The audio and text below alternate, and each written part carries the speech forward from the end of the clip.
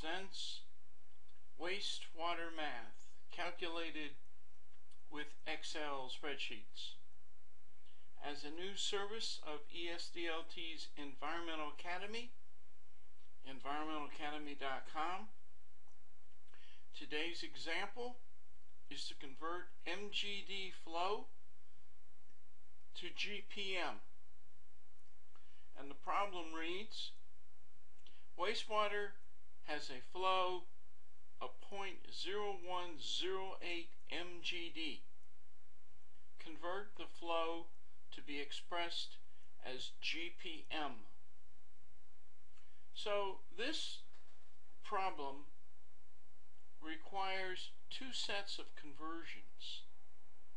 And to, to determine those conversions, we simply dissect the acronyms.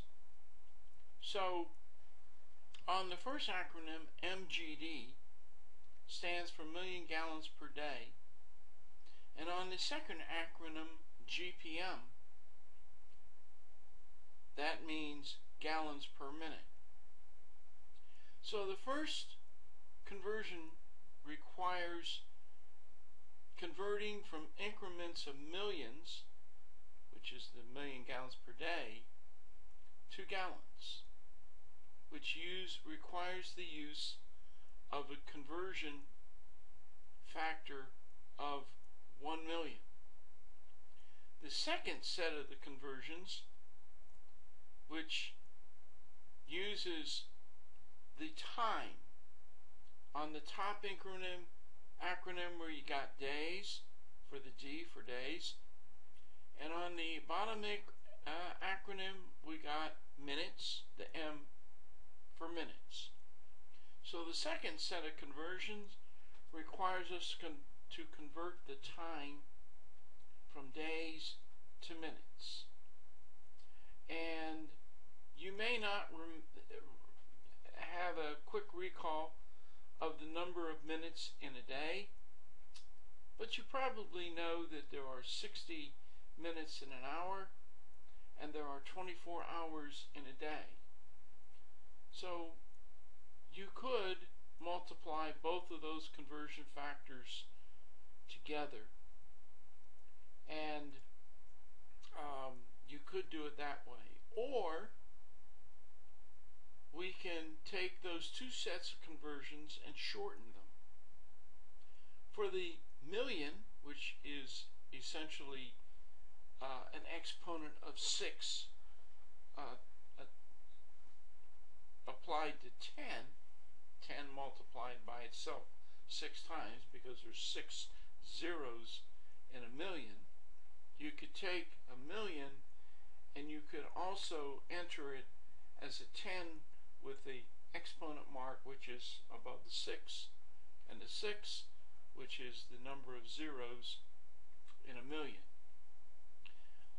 And you can take the time instead of putting in the 60 times the 24 you can shorten that conversion factor by using the number which is the result of those two conversion factors multiplied together.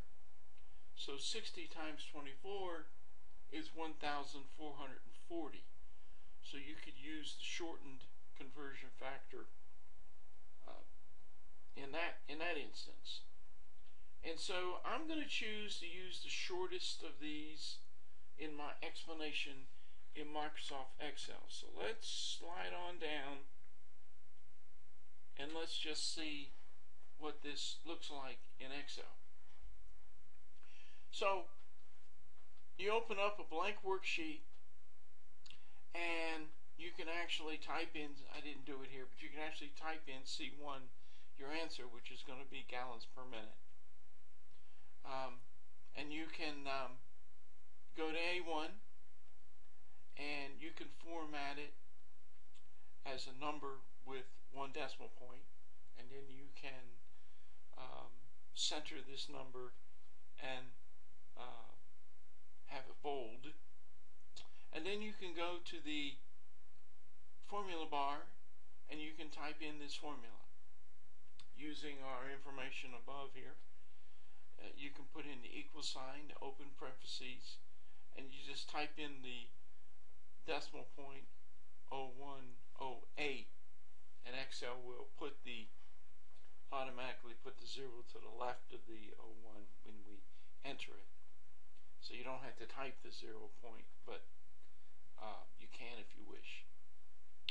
Um, so closed parentheses and you use the multiplication sign and you have an open parentheses and you do the 10 and you put the exponent uh, and the 6 and the closed parentheses then you put the division key open parentheses 1440 close parentheses and then hit return or enter key and you should get the 7.5 so if we convert the 0.0108 MGD to GPM we get the answer of 7.5 gallons per minute and so that's the answer 7.5 so hopefully um, you found this to be useful.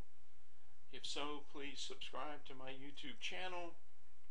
Um, I also urge that you subscribe, uh, uh, urge that you participate and interact, um, ask questions.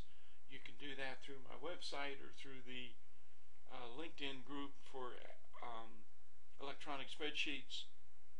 Uh, in any event, I hope you enjoyed this uh, six six and a half or seven minute video and I hope to uh, to uh, hope that you interact with me and I'll be back soon. Thank you.